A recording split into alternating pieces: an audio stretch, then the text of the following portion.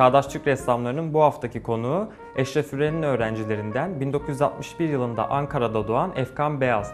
Kendisiyle söyleşimizi İstanbul'da Musa Güney'in atölyesinde yapıyoruz.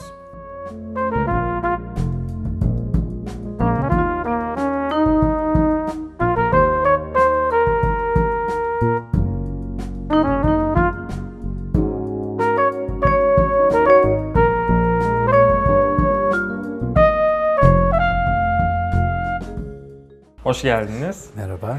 Ankara'da doğdunuz, Ankara'da yaşıyorsunuz. Bir ressam olarak İstanbul'da yaşamayı düşündünüz mü hiç? İstanbul'da malzeme çok. Her yer, her şey, tarih, her anlamda burada resim yapmak, sanat yapmak gerçekten çok güzel. Ama ben Ankara'da doğdum, büyüdüm. Ankara'yı daha çok seviyorum. Eğer düşündüğümüz zaman İstanbul'daki sanatçıların çoğu da buraya Ankara'dan gelip yerleşen sanatçılarımız vardır. Gazi kökenli olanlar vardır. E, onlar uyum sağladılar. Çok eskiden beri buradalar ama ben herhalde Ankara'da yaşamaya devam edeceğim. Ee, Ankara'da resim sanatı nasıl, sergiler vesaire? Şimdi Ankara ile İstanbul'u ben hep kıyaslıyorum sanat anlamında.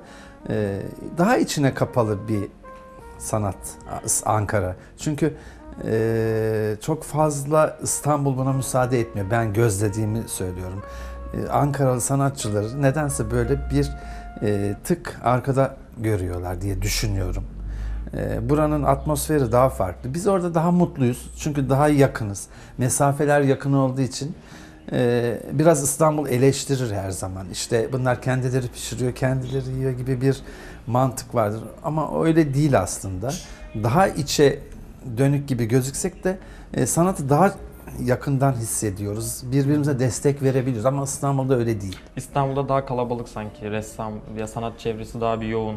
Yoğun ama daha bireysel Hı. bir e, koku var İstanbul'da. Bu, bizde öyle değil. Ankara'da daha cana yakın, daha sıcak atmosferler oluyor. İnsanlar birbirlerini takip edebiliyor. Mesafeler yakın olduğu için e, gelme gitme olayları da da şimdi İstanbul tabii ki öyle değil.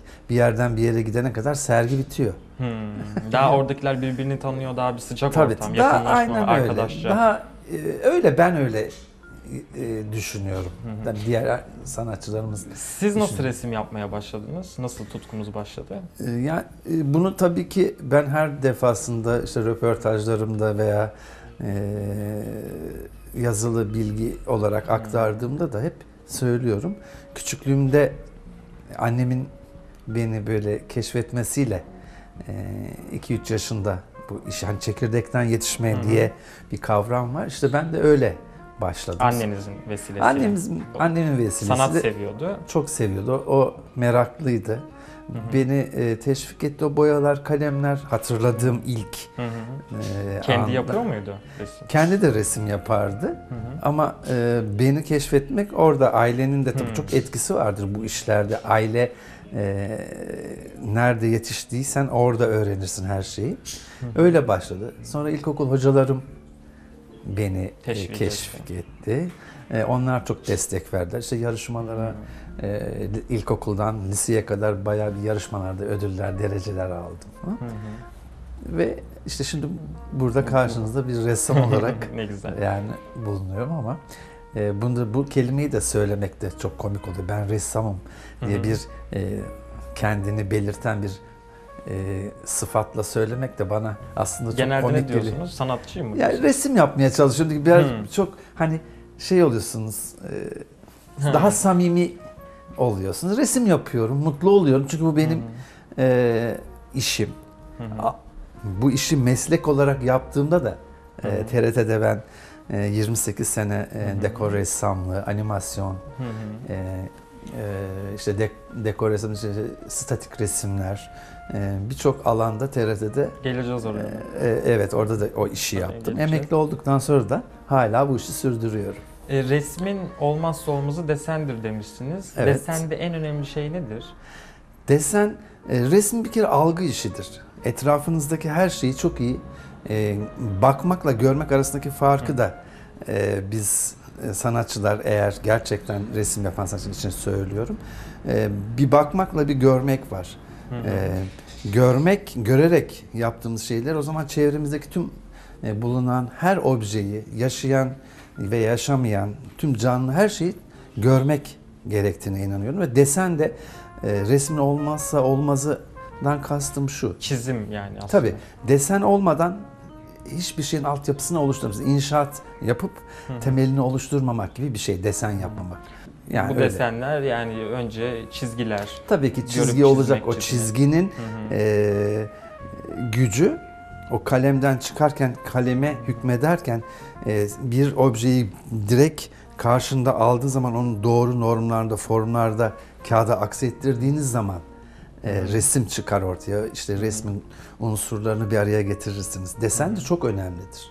Yani o olmazsa bence Önce desen Olmaz. sonra boyama diyorsunuz. Önce çizim önce aslında. desen ama tabii ki bu bilgi aktarımı da çok önemli. Çünkü teorik bilgilerinizi de o da üniversitede aldığınız eğitimle de bunu pekiştirip sanatınıza yansıttığınız zaman o zaman işte resim ortaya çıkar. Kendi görsel algınız, kendi Tabii, tabii. gördükleriniz vesaireyle oluyor aslında. Ee, akademiye gitmeden evvel Eşref Üren'den resim dersleri alıyorsunuz. evet, Ee, rahmetli nasıldı hocamla. Eşref Üren'le çalışmak? Eş- Ankara'da e, tek bir galerimiz vardı. 1978'lerden bahsediyorum. Hı hı. E, Devlet Güzel Sanatlar Galerisi Zafer Çarşısı'nın altında. Hı hı. Genelde tüm Ankaralı sanatçıların e, sergi açtığı, iyi sanatçıların sergi açtığı bir ortamdı. Ben orada o zaman 17-18 yaşlarında Eşref Üren'le öyle tanışıyorum. Hı hı. Yine rahmetli hocamız e, Osman Zeki Oral. Hı hı. Ondan da hayatımın çok önemli noktalarında kesişmelerimiz olmuştur. Tabii ki Osman hocamı ve Eşref Üren'i tanıdığım dönemlerde dediğim gibi çok gençtim ama Eşref Üren'i son 2-3. 3 sene tanıyabildim ama Hı hı. e, onun da böyle engin bilgileri benim resim yaparken bana nerede ne yapacağımı böyle her geldiğinde Bir kompozisyonu ee, oluşturmak her. Evet tabii ki yani de, Hı hı. e, uyarır. Nerede doğru yapacağım, nerede bak şurası şöyle burası böyle diye e, yönlendirmeleri Hı hı. olmuştur Rahmi Hocam. Yani 2-3 sene beraber bir e, Çalıştınız. yanında çalışıp öğrencisi oldum. Hı hı. 1978 yılında Gazi Üniversitesi Resim Bölümüne giriyorsunuz fakat 2000 yılında mezun oluyorsunuz. Ee, neden? O süreç nasıl oldu? E, 23 yıl Sonra. ara Hı hı. verdik. O dönemler e, 1980 öncesi dönemleri siyasi dönemler olarak bir e, karanlık bir nokta olarak hayatımın içinde. Oralara çok girmek istemiyorum. E, ama 2000'de tekrar mezun oldum. E, bu mezuniyetin bana getirdiği, Nasıl bir bana duygu? nasıl bir şey? Bir kere çok bilinçli gidiyorsunuz okula. E, hocaların çoğunu tanıyorsunuz. E, onlarla diyaloglarınız var. E, e, belli bir birikiminiz TRT'den e, kalan belli birikimleriniz var. Çünkü orada her şeyi öğreniyorsunuz. Hani derler ya TRT okul diye. O çok doğru. Çünkü 85 yılında TRT'ye giriyorsunuz. 85 illüstratör yılında. olarak. illüstratör, ressam olarak. Ve orada işte e, öğrendiğim, çünkü oradaki e, o dönemde tanıştığım e, meslek arkadaşlarım, abilerim, hepsi Mimar Sinan, Güzel Tatbiki, Güzel Sanatlar, Gazi çıkışlı sanatçılardı ve gerçekten mu- muhteşem sanatçılar.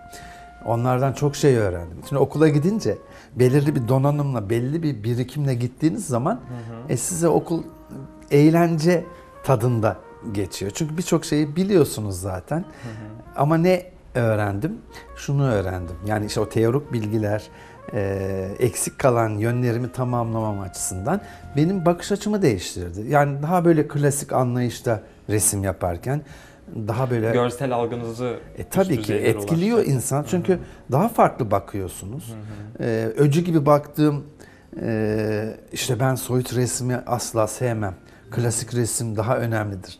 Bakış açısından soyutu çok sever hale dönüşüm. Çünkü soyut resim yapmak gerçekten çok zor. Hı hı.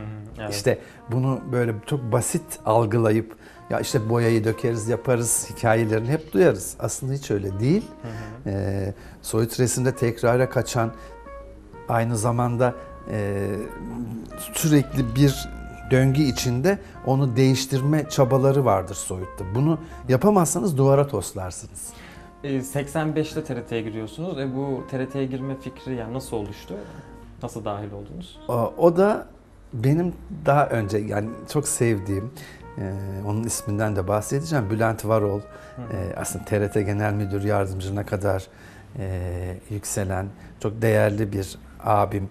Onun vasıtasıyla TRT maceram başladı ve işte 28 sene sonunda Onun vasıtasıyla onun TRT. onunla onu tanımam zaten hayatımın dönüm noktasıdır. Ya TRT'ye girmem, oradan e, bu noktalara gelmek gerçekten onun çok büyük manevi olarak bana katkısı olmuştur. Herkesin, her bir bireyin Bir aslında bir dönüm, dönüm noktası, noktası var. O da oluyor. benim onu tatil yerinde Side'de 1978'de tanımam. Oradaki dostluğun büyümesinden Hı hı. e, bu nokta TRT'ye girmem ve şimdiki bu noktada olmamın en büyük nedenidir. E, 2004 yılında Erevizyon'da, e, 2004 yılındaki Erevizyon'da 36 ülke sanatçıların karikatürlerini çizdiniz. Evet. Bu projeye nasıl dahil oldunuz? Bu proje e, aslında e, Türkiye'nin kazandığı, e, Sertap Erener'in kazandığı yıldan sonraki e, süreçte bu hazırlık dönemleri TRT'nin e, tabii ki organizasyonu döneminde yani onun vasıtasıyla e, kurumun vasıtasıyla olmuştu. Ben de görevliydim. Şöyle görevliydim. İlk önce bir kroki çizmemi istemişler böyle. E, işte o yedi kule zindanın tepesine çıktım. Abdi İpek- İpekçi e, arenayı o tepeden kuş bakışı çizdim. Sonra onlara işte karikatürize ederek oradaki mekanları e, nerede ne var? İşte park yeri, çekim alanları, soyunma odaları, reji odası, tuvaletler falan. Böyle bir espriyle orada karikatür çizdim. Sonra müdürlerim bana dedi ki böyle bir proje yapsak olur mu? Olur dedim. Ve Ebu tarihinde ilk defa e, o 36 ülke sanatçısının karikatürünü. Bilgisayardan Çizdim. yardım aldınız mı? Yani önce eskiz gibi onları çizip Hayır, hiç öyle bir şey. direkt elde. Ben hem nasıldı biliyor musunuz? Şimdi böyle bir podyum kurdular, çadır var. E, yarışmadan önce sanatçılar gelip 15'er dakika kendilerini Hmm. anlattılar. Ben o esnada bin, benden haberleri yok. Yanımda bir tercümanım vardı. E, spontan orada o ne anlatıyorsa, işte ben kayaktan hoşlanıyorum di- diyorsa ben oradan yakalayıp anında ister tek kişi olsun ister grup olarak gelsinler hepsini 15 dakika içinde son 15 dakikada çiziyordum. Sonra anons ediliyor onlar da çok şaşırdı ve büyük bir medya vardı arka. Ben o karikatürleri onlara armağan ediyorum. Böyle bir süreçti ve çok güzel bir şey oldu yani Hı hı. ilk defa yapılması anlamında Ve ilk ve son. televizyonda yayınlandı. Bu da hoş. Ee, tabii şöyle e, televizyonda yayınlanmasından öte çok ilgi gösterildi Hmm. bu. Çok güzel bir Sizin an- tarzınızda tabii, yine. tabii. Aslen karikatüristlik Hı hı. e, kökenliyimdir de. Hı. Yani. E, bu yeni karikatürler hakkında ne düşünüyorsunuz bilgisayar programlarıyla çizilen? E tabii şimdi biz daha klasik, altyapımız klasik olduğu için ve teknolojiyle ben çok e, fazla haşır neşir olmadım. Yani teknolojiyle destek alarak hiç iş yapmadım. Ve e, hatta animasyonlar yaptım TRT'de. Ve 6-7 tane bireysel çizgi filmler yaptım. E, ne kadar zor olduğunu, nasıl o elle çizildiğini, onların her şeyini sen hazırlıyorsun. Montajını, storyboard'unu hazırlıyorsun, arka fonunu hazırlıyorsun, müziğini hazırlıyorsun. Bir kameramanımız vardı. Sadece kamera desteği teknik olarak onu alıyorduk. O süreçler bir dakika için çizdiğim bir animasyon 6-7 ayda yapıyorsun. O bilgisayarlarla hiçbir alakam yoktu. Zaten e, ondan sonra bilgisayarlar gelince biz kendimizi, yani ben kendimi geriye çektim. Ama o animasyonları yapan arkadaşlarımız var hala TRT'de. Bilgisayar programlarıyla çizilen anim yani şeyler ya karikatürler de bana çok ruhsuz, duygusuz geliyor açıkçası. Yani o Evet. Semih Balcıoğlu vesaire işte ne Arthur Black gibi karikatüristler daha ruhlu yapıyorlarmış. E tabii o duygulu. kalemi, o o fırçayı boyaya Evet. batırıp o kalemin e, ucundan akan o mürekkebi hissetmezsen bilgisayarın e, tabii ki çok avantajları var yok değil ama Hı hı. işte o o ruhu alamazsın bilgisayardan alamazsın. E peki e, karikatür e, sadece mizah içerikli mi olmalı? Böyle bir algı var mesela. Şimdi karikatür aslında e, resimden çok farklı. Bir kere karikatür donanım gerektiren bir sanatıdır. Yani e, resimde kendini ifade etmek zorunda değilsin ama karikatür daha evrensel olduğu için, uluslararası bir dili olduğu için hani yazılı karikatür, yazısız karikatür Hı, vardır. evet. Şimdi yazılı karikatürü ben şuna benzetiyorum. Diziler seyrederken arkadan gülme efektleri gelir. Hmm. Ben de o yazılı karikatür ona benzer. Zorla insanları Yani o gülmeye de derler zorla. ama yazısız karikatürde Bir öyle anlatacaksınız şey. ki baktığınız zaman dünyanın her yerinden o e, şeyi Hmm. işte Hmm. evrensel dili anlayabilecek şeydir. Onun için e, dünyada ne kadar e, çevresel faktörler, siyasi faktörler e, bunların hepsini çok iyi bilmeniz Belli bir gerekiyor. O da okumak, Olmaz. okumak, o da okumak. okumayla. Karikatür onun için daha görmek, zor. Evet. Ee, şey Semih Balcıoğlu'nun Rodin İstanbul'a geldiğinde Rodin sergisi daha doğrusu e, düşünen adamını çizmişti. Rodin sergisi bitip giderken artık onu hiç unutmam. Şey yazıyordu, e, güle güle düşünen adam, e, sen gidince etraf düşüncesizlerle kaldı diye Aslında çok güzel ve komik, İşte bakın Güzel, yani, yani- evet. düzeyli esprisi olan çok güzel bir Yani şeydir, şeydi e, karikatür e, herkese hitap eder Hı hı. ama risklidir. Her zaman Türkiye'de karikatür çizmek e, çok böyle özgürce yapılan bir sanat değil. Çünkü sansüre uğramak zorundasın. Uğramazsan daha başka boyutları oluyor. Onun için- Karikatürsel resimler de olabiliyor. Ee, yani resim yaparken de yansıyabiliyor. Benim bazı resmim karikatür gibidir mesela. Tam Hı hı. resim sanatı gibi değildir. Herhalde o da Abidin Dino'nun o çizgilerinden belki Evet, etkilenmiş. yani karikatür olabilir. olmasa desenlerinden. Ee, şimdi resimleriniz figür ağırlıklı. Neden figür? Biraz önce de bahsettim. Desen Hı. benim için çok önemli. E, figürde tabii desen çizdiğim için e, isterseniz figürlerim de e, resimlerimde yer alıyor. Canlıyı seviyorsunuz. Canlıyı resmetmeyi Tabii. aslında. Yani e, natürmort'u severim ama Hı. canlıyı daha çok seviyorum. E, biz dediğimiz gibi bir grubumuz var. E, 4-5 yıldır bir new grubumuz var. Hı hı. Hocalarımız, arkadaşlarımız. Hala resim çizmeye, desen çizmeye çalışıyoruz. Hala da yanlışlarımı görüyorum. Hmm. Bak iyi çizdiğimi düşünürüm. E, ama asla mesela silgi kullanmıyorum ben Hı. çalışmalarımda. E, kendi elimi terbiye etme derdindeyim hala. O, Hmm. o şeylerle, e, pilot kalemlerle falan çiziyorum. Eğer silersem yanlışımı Hı. e, silmek istemiyorum. Yani bu yanlışlar ışık, gölge, kol, bacak gibi bir şey mi yoksa e, kompozisyon beğenmediğiniz tarafla ilgili mi? Hayır. Şimdi şöyle, e, çizerken yanlışı yapıyorum ama yanlışımı görüyorum sonra. Silerek Hmm. yanlışınızı göremezsiniz. Hmm.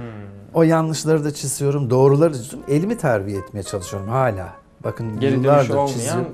Bir şekilde Tabii. çiziyorsunuz aslında. Evet. En önemli şey diyorsunuz. evet. Geri dönüşü yok. Silgi Geri kullansanız belki Silgi kendiniz- kullanırsam hatamı bir daha Evet. göremeyeceğim. Ama ben onları bazen yok ediyorum. Çok silgi kullanmadığım zaman hiç beğenmediğimi yırtıyorum. Hı, imha ediyorsunuz. İmha ediyorum. Ama Hı ortalamaları ve iyi olanları Yani şey imha etmenizin nedeni yenilenemem diye mi? Yoksa görmek istemiyorsunuz mu?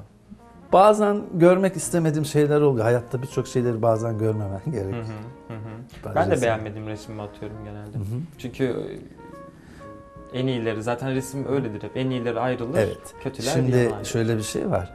Ee, çok klişe bir şey ama yani sanatçı yaptığını bozup yok edebiliyorsa o sanatçıdır diye bir e, cümle kuruyor herkes.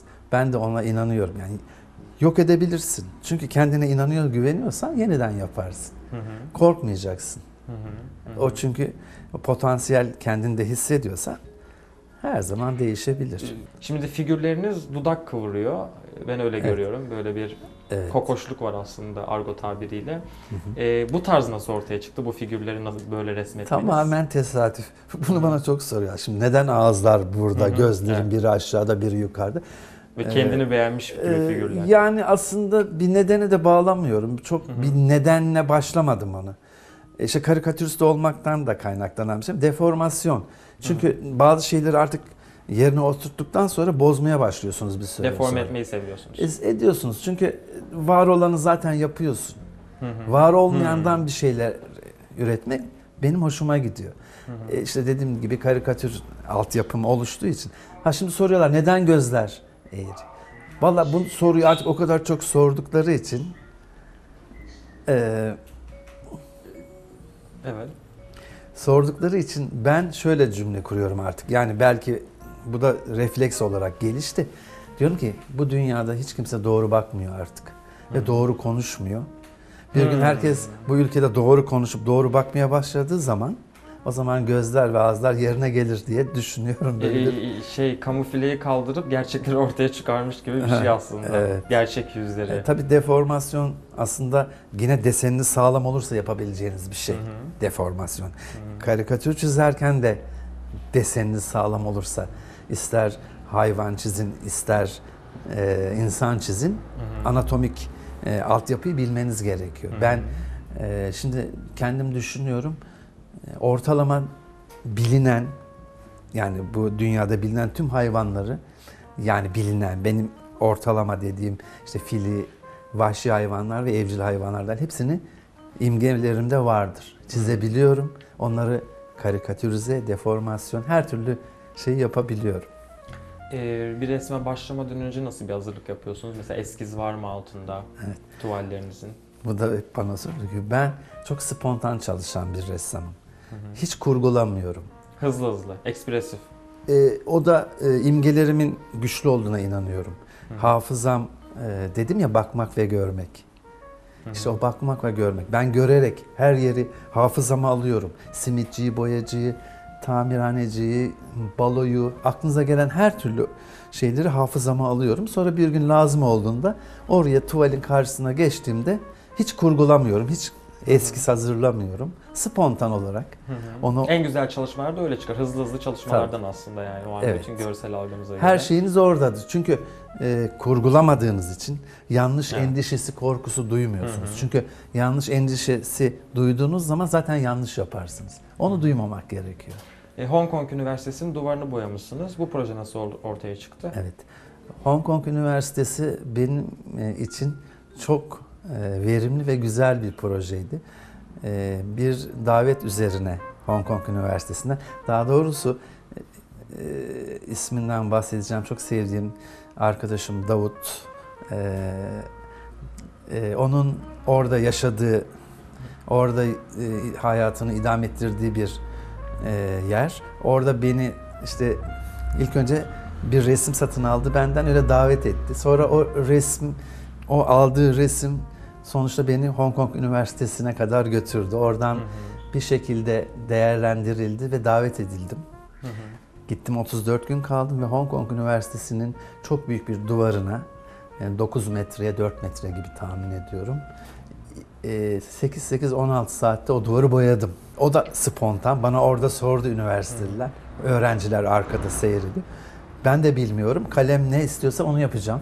Bakalım dedim. E, ne teknikle boyadınız? E, akrilik akrilikle. ile yaptım. Hemen tabii desen artı bir müzisyenler ordusu gibi bahçede işte müzisyen e, korolar falan girdim. Boyadım. Çok da güzel oldu. Ve şöyle bir şey oldu. Ben döndükten sonra Hong Kong Üniversitesi e, bu duvarlara isim yarışması yaptı ve e, ödüllü. Onları da öğrenciler kazandı. hı. İşte duvarlara isim koydular. Orada çok evet orada bir eserimiz orada. Hem de Türkiye için de çok güzel Hı. bir şey. Orayı, orayı Temsil ettiniz. temsil da. ettim. E, rektör açılışını yaptık. Kişisel sergimi yaptılar Hı. aynı zamanda. Bu arada işte orada restoranlar vardı. Türk restoranı birkaç duvar daha derken arkadaşın evinin duvarını dedim ki Hong Kong'u Hmm. boyadım geldim ben. E, bu şimdi şeyler çok meşhur. Grafitiler İstanbul sokakları. Ankara'da nasıl bilmiyorum. E, grafitiler hakkında ne düşünüyorsunuz? Başarılı buluyor musunuz? E, grafitileri seviyorum. Aslında onlar da e, ne kadar sanat değilmiş gibi bir algı söyle. İşte grafiti alıyorlar fıs fıs boyuyor. Öyle değil. Aslında çok Bir güzel mantıklı, şey- bir sonuç. e, bir onun da şeyi var. E, kokuyor yani sanatı Hı hı. hissedebiliyorsunuz. O yazıdır belki onun çıkış noktası Hı ama figürlere de dönüşünce o sanat oluyor. Ben seviyorum Hı. Ankara'da. Grafiti bazı yerlerde görüyorum ama İstanbul tabii daha fazla Daha bu fazla, konuda evet, iyi. Taksim özellikle. Evet. Banksy'yi çok seviyorum ben de o e, kültürel yapısı Hı hı. yani çok hoş. Ee, Türkmenistan e, Cumhurbaşkanlığında resimleriniz var. Ee, resmim var aslında Biraz ondan resmim. bahseder misiniz? O da e, ben ilk kişisel sergimi Sevgi Sanat Galerisi'nde 99 yılında açmıştım. E, aslında şöyleydi. E, öğrenci okulu bitirdiğim dönemde hocam Bünyamin Balamir ben dedi senin adına dedi galeriyle konuştum sergi açıyoruz diye benim haberim yokken. Ya hocam dedim haberim yok. İlk Nasıl oldu? sergi. İlk sergi. Hı. Ya dedi sen dedi halledersin dedi. Zaten profesyonel işler yapıyorsun. Ben konuştum diyerek öyle başladı. İlk sergimi öyle yaptım. Türkmenistan Cumhurbaşkanlığı'nın yetkilileri geliyor, e, eserler alıyor Hı. galeriden.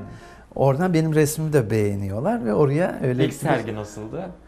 İlk sergi tabii heyecan verici. Çünkü ben hep ne kadar profesyonel TRT'de yıllarca resim yaparken çok ciddiye almadım o resim sanat şeyini. Yani daha böyle profesyonel düşünceden uzak. Çünkü piyasada zaten bir şekilde karikatür, resimleme işte bu tür şeyler yaparken resmi böyle hep ikinci plana attıydım. Hı hı. Sonra okul tabii beni etkileyince işin içine tekrar döndüm. Sonra sergiler birbirini kovaladı Ee, işte. 2000 yılından itibaren Luna Park ressamlığı yapmaya başlıyorsunuz. Hı hı. Ee, tam olarak nedir Luna Park ressamlığı? Nasıl bir çalışma? o? Tabii ben de çok yabancısıyım işin ilk başlarda bilmiyorum. Gittim de e, neyle karşı nasıl bir boya, nasıl bir teknik hiçbir şey bilmiyorum. Hı hı. Sadece duvar ressamlığımdan kalan bir altyapıydı. Çağırdılar gittim konuştum. E ne yapacağız işte bunlar boyanacak falan karşıma inanılmaz büyük devasa oyuncaklar falan çıkardılar. E neyle boyayacağız? Oto boyası. Bunlar çünkü oto boyaları e, sellozik içerikli Hı. selülozik içerikli olduğu için bizim diğer kullandığımız boyalardan çok farklı. Çünkü dış mekan İnsana Resim. zararlı anlamında. çok zararlı. Ha. Zaten ona da değineceğim. Kısaca şey yapayım. Ee, 14 sene o çok büyük işte e, gondollar, atlı karıncalar, Hı. elma kurtları işte aklıma gelmiyor şimdi bir yıl oyuncak ve bunlar aslında fabrikaydı benim çalıştığım. Hı hı. Fabrikada üretiliyor ve yurt dışına e, ihraç Ha. ediliyor. Kendi görsel algınıza göre mi boyuyorsunuz yoksa bir kal- Tamamen benim Hı hı. e, görsel algım kendi e, düşlediğim renklerle. Çok Çünkü güzel zaten çocuk işi olduğu için Hı hı. çocuk işi olduğu zaman renkler e, bizim böyle çok e, ko- şeyli kontrol, e, kontrollü işler değil. Hı hı. Tamamen pembeler, maviler, yeşiller böyle cafcaflı. Çünkü etkileyicidir. Çocuğu daha çok böyle e, cezbedici bir iştir. Hı hı. E, çok şeyler boyadık ama e, maalesef sağlığımı kaybettim Hı. bu konuda. O- için Akciğerlerimde sıkıntı Hı. oldu. Yavaş yavaş son 4 yıldır artık asla elimi sürmüyorum. Yağlı boya da zordur o konuda yani açık bir Şimdi yağlı boyada lazım. Terebenk, tabii sinematik, onlar da kokusu olarak. Evet. Ben şimdi onun için su bazlı Hı kullanıyorum. hı. Ama şimdi sellozik boyada tabancayla boyuyorsunuz. Hı. Püskürtme boya olduğu için e, Cilde bile zarar verebilecek tabii ki. düzeyde. Çünkü tiner boya, ondan sonra vernik işte hepsi bir arada o fabrikanın içinde sürekli onu teneffüs ediyorsunuz. Hı hı. Maalesef hiç Hı hı. iç açıcı olmadı benim için yani. Hı hı. E, eserleriniz tişörtlere, e, Evet. yastıklara basılıyor. Bu fikir nasıl Koltuklar. ge- koltuklara basılıyor? Bu fikir nasıl gelişti? Şimdi o da enteresan bu sene e, bu, bu yıl içinde e, benim çok sevdiğim yine ressam arkadaşım e, Akdoğan Topaçlıoğlu'nun daha önce e, Ebru Kara Kimseliler Hı hı. e, arkadaşımızla aynı atölyede bu işleri yapıyorlardı. Sonra ben de işin içine dahil oldum. Sonra işte o onlar da serüven çok farklı. İşin bil, içine girince öğreniyorsunuz. Ben desenlerimi çizdim. Onlar işte kumaşlara, elbise olarak, tişört, gömlek olarak Hmm. basıldı. Giyilebilir sanat adı Hı, altında. Giyilebilir sanat, güzel. Ee, öyle eserler çıkıyor. Sonra bunu geliştirdik işte ben e, sehpalara, berjerlere, işte koltuklara, e, masa örtüsü olarak falan bunları yaptık bu yıl. Ee, çok da güzel neticeler aldık. Tepkiler nasıldı? Çok güzel. Arkadaşımız Ebru Hanım da e, bu konuda gerçekten e, daha önceden e, tecrübeli olduğu için e, birbirimize destek olduk ve güzel işler çıktı. Yani güzel. O da bir işin içine girdiğim farklı bir konu. Son kişisel serginiz de Ocak'ta Şubat arasındaydı bu yıl. Ee, Evet. Sergilerinize isim vermiyorsunuz. Neden? E, Bu son sergime isim verdim. Anılar Hı dedik. Onlar çok ısrar ettiler. Ben de rumuz kullanmayı. Hani bazı şeyleri ben böyle çok böyle şiirsel, böyle edebi bir cümle kuraraktan anlatmayı pek sevmiyorum. Ben sadece çiziyorum. Benim işim çizmek. Hı hı. E, Eleştirmek sanat e, severlere ve sanattan anlayan kişilere bırakıyorum. Çünkü ben sadece sonuçta Hı hı. işimi yapıyorum. Resimlerim görünsün. Yeter Resimlerimi görüyorum. Aynı zamanda ve pul ressamlığım da Hı hı. benim vardır. Ondan da e, biraz Hı hı. bahsedeyim. 90 ile 2000 yılları arasında PTT Pul Müdürlüğü'nde e, 10 yıl PTT'ye pul resimleri yaptım. E, O Ankara'da Pul Müzesi'nde de onlar zaten Hı. var. Onlar benim için çok daha özel. Niye? Hı hı. Çünkü e, pullar resim gibi değildir. Hı hı. E, resim yaparsınız. Kitlelere sadece belirli kitleye değil, bütün dünyadaki koleksiyonerlere de ulaşabilen bir şey o. Onun için düşünüyorum dünyanın her yerinde pullar ya benim de yaptığım pullarım dolaşıyor diye. O beni çok büyük bir huzura. Hatta geçenlerde aradılar yine tekrar bir çalışma yapmayı düşünüyoruz. Ara vermiştim. Evet. E, tuvalette çalışıyorsunuz. Kağıda da e, en çok hangisini seviyorsunuz? Neyi tercih ediyorsunuz en çok? Yani aslında Çok fark ediyor mu tuval ya da çok kağıt mesela? fark ediyor mu? Aslında çok fark etmiyor. Çok önemli Sonuçta değil. Nereye çizdiğiniz çok önemli değil. Ne çizdiğiniz önemli. çok önemli Evet. değil mi? Evet. Yani e, ben mesela bir yere gidiyorum. Arkadaşımı bekleyeceğim. Kağıt kalemim her zaman olur ama yanımda bazen olmaz. E, İşte oturuyorum. Taşın üstünde bir Kızılay'da bir yerde oturuyorum. O ara elime bir taş geçiyorsa o arada geçen süreci boş geçirmiyorum. Yani yere bir şeyler karalıyorum. O tebeşir gibi taşlar vardır. İşte orada boyuyorum falan böyle. Gördüğünüz anda O anda yani elim boş durmuyor. El Hı boş durmaz. Hı. yeni projeleriniz neler? Şimdi yeni projeler ne var? Bir Kıbrıs'a uluslararası bir etkinlik var. Ee, 19 Mart 26 Mart arası Hı. orada bir çalıştay olacak. Oraya katılacağım. Sonra e, Temmuz'un başlarında onun tam tarihi net değil ama e, Alaçatı'da bir kişisel sergim daha olacak. Hı hı. Çok güzel. Projeler bunlar. Çok teşekkürler. ben teşekkür oldunuz. ederim bana da e, bu imkanı sunduğunuz için. Çağdaş Türk ressamları bu hafta Efkan Beyaz'a konuk oldu. Haftaya başka atölyede görüşmek üzere.